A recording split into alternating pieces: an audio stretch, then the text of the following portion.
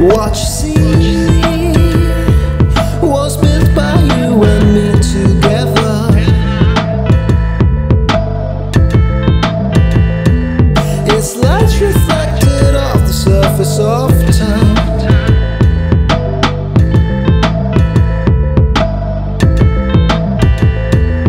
It's your illusion just as much as mine.